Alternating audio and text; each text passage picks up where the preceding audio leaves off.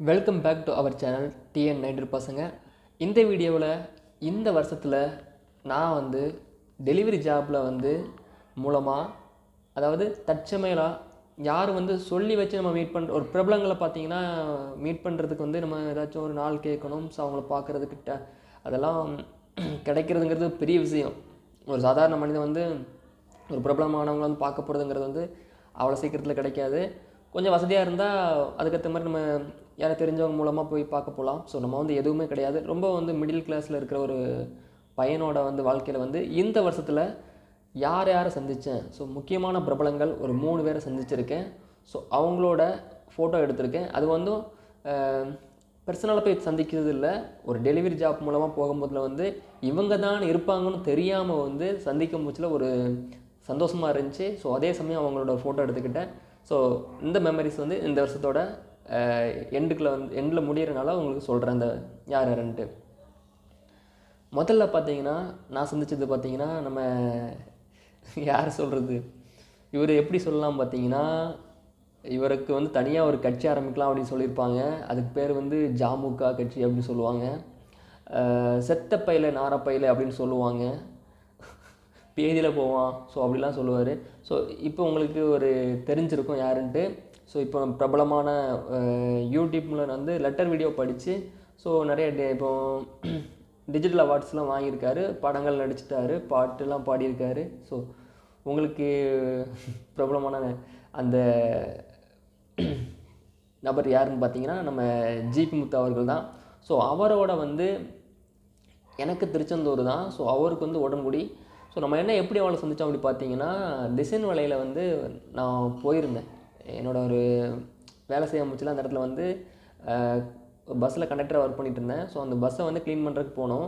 So அந்த time evening போயிட்டு நான் ரிட்டன் வரும்போதுல பார்த்தீங்கன்னா அவரை அந்த டிசைனில் ஒரு டிசைனல் ரோட்டில் சந்தித்தேன் ஸோ யாருப்பா இவர்? நம்ம பார்த்த மாதிரியே இருக்கு எங்கேயோ அப்படின்னு பார்த்தோம்னா அவர் ஜீப் முத்து. ஜீப் முத்து நான் எப்படி இருக்கீங்க? அப்படின்னு நிறுத்திட்டு பேசினா அவர் பேசுனாரு தம்பி நல்லா இருக்கேன். அப்படின்னு சொன்னார். என்ன நம்ம ஊர் தான் பக்கத்தில் தானே? அப்படின்னு. அப்படியா? சரி சரி. என்னென்ன இங்கே வந்திருக்கீங்க அப்படின்னு கேட்டேன். இல்லை பார்த்து ஒரு பைக் ஒன்று பார்க்க வந்தோம். ஆக்டிவா மாடல் வண்டி ஓட்டுறதுக்கு அப்படின்னு அப்படியா? சரி சரி. இவரை சந்தித்து கிட்டத்தட்ட ஒரு ஆறு ஏழு மாதம் இருக்கும். சென்னைக்கு வர முன்னாடி இவரை நான் சந்தித்தேன் ஊரில் வச்சு. ஸோ அவரோட ஒரு ஃபோட்டோ எடுத்தேன். ஸோ அந்த ஃபோட்டோஸ் வந்து உங்களுக்கு இப்போ இந்த இதில் காமிக்கிறேன். அதுக்கப்புறம் பார்த்தீங்கன்னா செம்ம சென்னைக்கு வந்தாச்சு. சென்னையில் வந்து டெலிவரி ஜாப்பில் வந்து ஜாயின் பண்ணியாச்சு. அந்த சமயத்தில் வந்து டெலிவரி ஜாப்ஸில் நான் ஏகப்பட்ட இடத்துல டெலிவரி பண்ணிகிட்ருக்கேன் ஸோ ஒரு பேர் வருது. பேர் பார்த்தீங்கன்னா நம்ம விஜய் டிவியில் நடிச்சிருக்கவங்க நடித்தவங்கள விஜய் டிவியில் வந்து குக் வித் கோமாளி. ஸோ இந்த ப்ரோக்ராம் மூலமாக வந்து அறிமுகமானவங்க வந்து தான் அவங்களுக்கு சொல்ல போகிறேன் ஸோ நான் வேளச்சேரியிலேருந்து ஒரு ட்ரெஸ்ஸு அது வந்து இந்த சொல்லுவாங்கள்ல ஒர்க்கிங் இது டிசைன் டிசைன் இது பண்ண ஒரு சுடிதார் நினைக்க மெட்டீரியல் ஸோ அது வந்து தச் இங்கேருந்து தச்சு எனக்கு ஒரு ட்ராப் போகணும் ஸோ பார்த்திங்கன்னா ட்ராப் வந்து சாலிகிராமம் எனக்கு சென்னைக்கு புதுசு. நான் வந்து சென்னையில் மேப் பார்த்து ஓட்டிகிட்ருப்பேன் அட்ரஸ் தெரியாது. ஸோ மேப் பார்த்து போவேன். ஸோ ஒரு பேர் வந்து என்ன தெரியுமா இருந்தது? சிவாங்கின்னு இருந்துச்சு. சரி சிவாங்கி யாருப்பா சரி சென்னையில் ஏகப்பட்ட சிவாங்கி இருப்பாங்க. யார் சந்திக்க போகிறேன்னு தெரியாது. ஏன்னா ட்ரா பிக்கப் பாயிண்டில் வந்து அது சொல்லவே இல்லை. இவங்க தான் இருப்பாங்க. அங்கே போனால் அப்படின்னு நம்ம சொல்லியும் விடலை. சரி நம்ம எப்போ மாதிரி ட்ராப் தானே கொண்டு கஸ்டமர்கிட்ட கொடுத்து காசு வாங்கிட்டு போயிட்டுருப்போம் அப்படின்னு சொல்லிட்டு நான் மாட்டு கிளம்பி போயிட்டேன் ட்ராப்பில் போய் கால் பண்ணால் பேசுகிறாங்க ஒரு ஜென்ஸு சரி யாரோ இப்போ பேசுகிறாங்க அவங்க அப்பா பேசுகிறாங்க சொல்லிட்டு நான் பேசிட்டேன். பேசிட்டு வந்து தம்பி இருங்க வெளியே வந்து வாங்குவாங்க அப்படின்னு சொன்னாங்க.